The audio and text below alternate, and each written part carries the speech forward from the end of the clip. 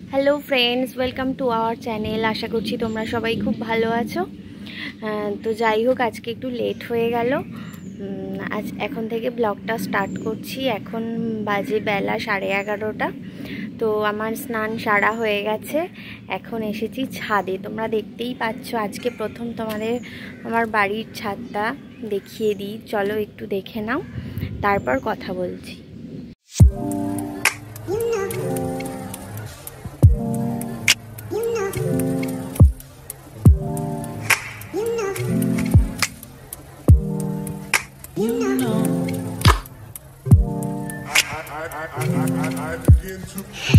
তো যাই, এবারে বাবা সব জামা কাপড় তুলে নিয়ে চটপট চলে যাই নিচে।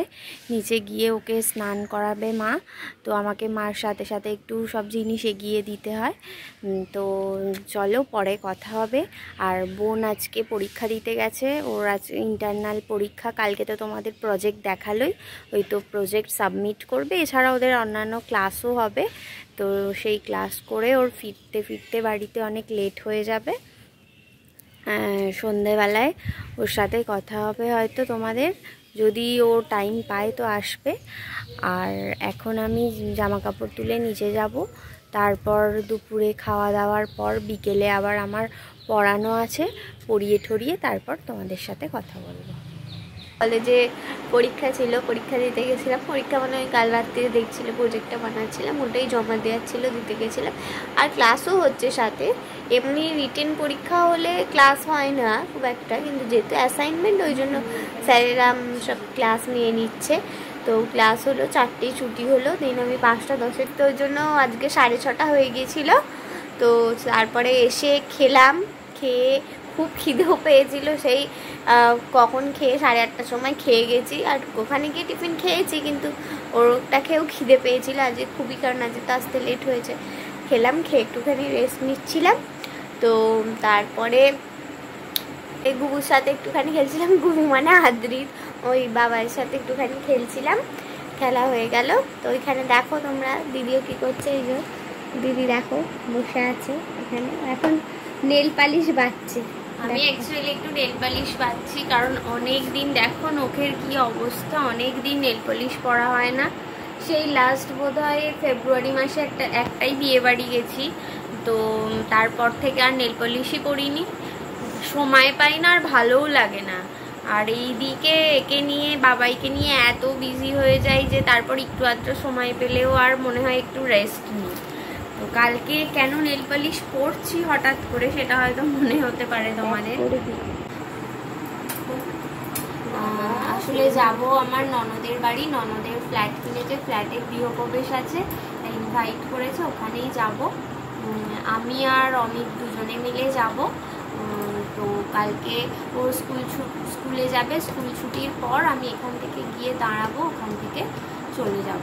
তো একটা বেশি টাইম থাকব না কারণ বাবাইকে রেখে যাব তো যাব আর একটুখানি দেখা করে বসে তারপর চলে আসব। তো সেই যাব বলেই মানে নখগুলোর এত খারাপ অবস্থা সেই কারণে একটা নেল পলিশ করব বলে খুঁজছিলাম। তো তাহলে তোমাদের যখন বলেই দিলাম কোথায় যাচ্ছি তোমাদের দেখিয়ে দিই যে কালকে যাব যখন আহ, জন্য একটা গিফট কিনেছি। কি গিফট কিনেছি সেটা তোমরা দেখে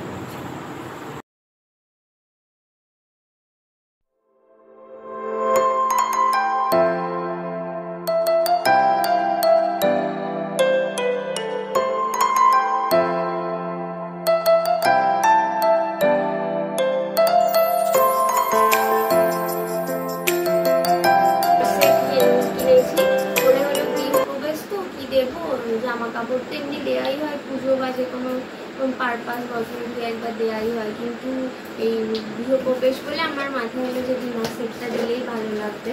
তো সেই কারণে এই ডিনার সেটটা কিনেছি।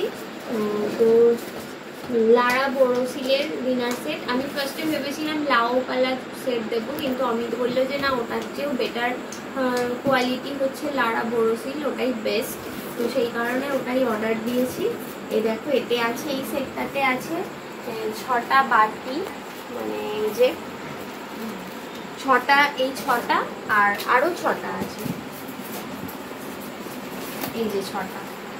টোটাল এই যে এইরকম দেখো প্রিন্টটা বেশ আমার খুব পছন্দ হলো কালারটা আর ডিজাইনটাও বেশ সুন্দর। মানে এই কালার কম্বিনেশনটা খুব ভালো লাগছে। ডিনার সেট তো মেনলি হোয়াইটের ওপরেই বিভিন্ন কালারের প্রিন্ট হয়, তো এই কালারের প্রিন্টটা ভালো লাগল।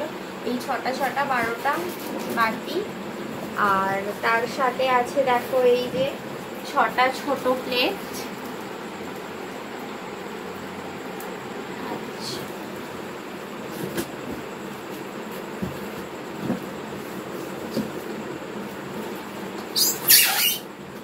আর এই যে ছটা বড় প্লেট এই হলো ডিনার সেটটা কেমন হয়েছে কিন্তু অবশ্যই তোমরা জানিও কেমন লাগল।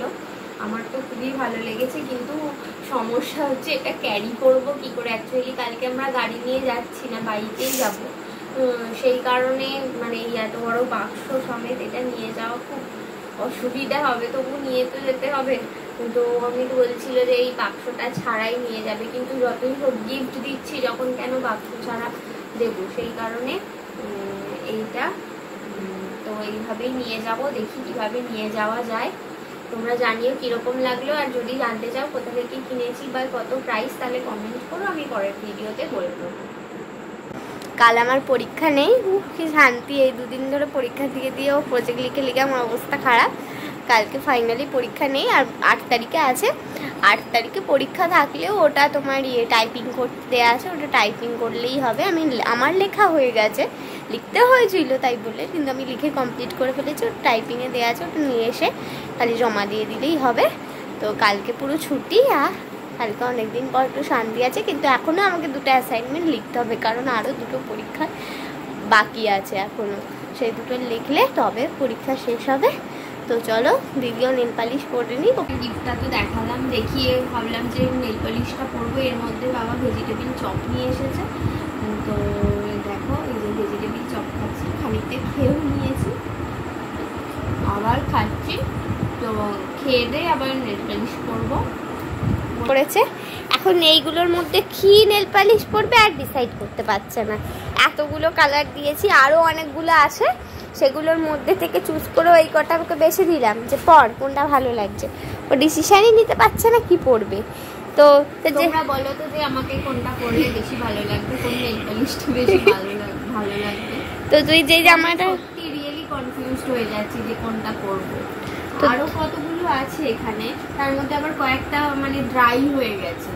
তো বোন বলল যে তুই যদি সেগুলোর মধ্যে পড়তে চাস বল আমি রিমুভার ওর সাথে মিক্স করে ড্রাইনেসটাকে একটু কমিয়ে দিচ্ছি মানে তুই পড়তে পারবি আমি বললাম না থাক অত ঝামেলা করতে হবে না। ওগুলো পুরো বাতিল করে দে ফেলে দে। আর এই কটা ও আপাতত বেছে দিল। বলছি এর মধ্যে একটা তুই যে জামাটা পরবি? সেইটার ম্যাচিং এ পর একটা। কি জামা পরবো সেটাও তো এখনও ডিসাইড করিনি। অ্যাকচুয়ালি এখন আমি একটু মোটা হয়ে গেছি বলে আগের ম্যাক্সিমাম জামাগুলোই আমার গায়ে মানে ফিট হচ্ছে। তো সেই কারণে কোন জামাটা পরবো কোনটা ফিট হবে সেটা নিয়েও তাহলে তুই রেডটা পর রেডটা পরলে যে কোনো জামার সাথে সেটা ম্যাচ চলে যাবে। ড্রেস ডিসাইড করা হয়নি আর শাড়ি পরে যাব না কারণ বাইকে যাব শাড়ি পরতেও অনেকটা সময় লাগে আর ওই বাইকে শাড়ি প্যাক করে যাওয়া আসা খুব বিরক্তিকর ব্যাপার। আমার এমনিও শাড়ি পরতে ভালো লাগে না কোনো অকেশন ছাড়া শাড়ি পরিও দিদিকে বলছি যে না লাল নেল পালিশটা পরতে লাল নেল পালিশটাই পর ওটা সব জামার সাথেই চলে যাবে। লালটা পরলে বেশ দেখবে ডার্ক কালার পরলে একটু হাতটা বেশ সুন্দর লাগে দেখতে। তো আমি ওকে বললাম যে হ্যাঁ তো আমি বললাম যে তাহলে লালটাই পর ভালো লাগবে। ভালো লাগবে কিন্তু ব্লুটা আগের বারই করেছিলাম এখনও আঙুলে একটুখানি লেগে আছে তো চলো দিদি তাহলে রেডটাই পরবে বলছে তো পরে নিক। দেখো আমার নেল পালিশ করা ডান নেলের অবস্থা খুব খারাপ, যদিও তবুও জানিও কীরকম লাগছে। আর কি বলব? তো আজকে আর বেশি রাত করব না, কারণ কালকে সকালে অনেক কাজ আছে। সকালে উঠে তো এমনি প্রত্যেক দিনে যা যা কাজ থাকে সেগুলো আছেই, তারপর পড়ানো আছে। তারপর তোমরা দেখতে পাচ্ছ আমার আইব্রোটার অবস্থা ভীষণ খারাপ। আমি আগের বছর অগস্ট মাসের লাস্ট করেছিলাম আইব্রো। আফানিতে গিয়েছিলাম তখন ওখানের তোমার হাবিব থেকে হাবিব হাবিবস বল কেটে দেবো। আগের বছর অগস্ট মাসে লাস্ট আইব্রো করেছিলাম। তো আগের বারে ওই অগস্ট মাসে ডক্টর দেখাতে গেছিলাম, ফেরার পথে অভানিতে গিয়েছিলাম, সামনে পুজো ছিল বলে ওই দু একটা কেনাকাটার ছিল। তারপর তখন ফার্স্ট অভানিতে হাবিব স্কুলে ছিল, তো দেখে তখনই আইব্রো আর হেয়ার কাটিং করেছিলাম। তো তারপর থেকে আর সেইভাবে খুব একটা বেরোয়নি। আর বেরোলেও আমাদের এখানে যেসব মানে পার্লার আছে সেখানে আইব্রো করেনি আমায়। বলেছিল যে আফটার ডেলিভারি করে দেবো। তার আগে ওদের নাকি করতে নেই। কেন করে না ওরা জানি না। কিছু হয়তো ওদের ব্যাপার আছে। কি ব্যাপার অত বলেনি। বলল, করব না। আফটার ডেলিভারি করব। সেই কারণে আমার বেবি শাওয়ারের সময়ও আমি আইব্রো করতে পারিনি। তো তারপর লাস্ট এই ফেব্রুয়ারিতে একটা বিয়ে বাড়ি ছিল। তো ওই বিয়ে বাড়ির আগের দিন করেছিলাম আইব্রো। তারপর থেকেই কতদিন করা হয় না, তাই জন্য কালকে যদি টাইম পাই তো একবার আইব্রোটা করে আসব। আর যদি টাইম না পাই তাহলে এরকমই থাকবে। আর তারপর তো বললাম যাবই, তাড়াতাড়ি বেরোতে হবে। কারণ ওর অমিতের স্কুল ছুটি হবে আড়াইটেই তো সেই সময় ওর স্কুলের সামনে আমি গিয়ে দাঁড়িয়ে থাকব। মানে আমাকে বাড়ি থেকে দেড়টায় বেরোতে হবে। তো তার আগে স্নান করা রেডি হওয়া অনেক কাজ। তার সাথে সাথে তো বাবাইয়ের সাথেও একটু টাইম দিতে হবে। কারণ মার রান্না বান্না আছে। যদিও কালকে বোন বেরোবে না, তো ওর যেহেতু ফাঁকা আছে বাবাইকে দেখতে পারবে। দিক থেকে একটা প্লাস পয়েন্ট তো আছেই। তাই আজকের ভিডিওটাকে আর বেশি বড় করতে পারলাম না, এখানেই শেষ করলাম। তোমরা কিন্তু অবশ্যই আমাদের চ্যানেলটাকে সাবস্ক্রাইব করো লাইক কমেন্ট শেয়ার তো মানে বেশি বেশি করে করো। আমাদের কমেন্ট করে করে ভরিয়ে দাও, যাতে করে আমরা তোমাদের আরও বেশি নতুন নতুন ভিডিও মানে তোমাদের কাছে নতুন নতুন ভিডিও এনে দিতে পারি। তো কারণ তোমরা বেশি করে সাপোর্ট করলে আমাদেরও মানে কাজ করার উৎসাহটা একটু বাড়বে। তো যাই হোক আরও বেশি কথা বাড়াবো না। Good night tata.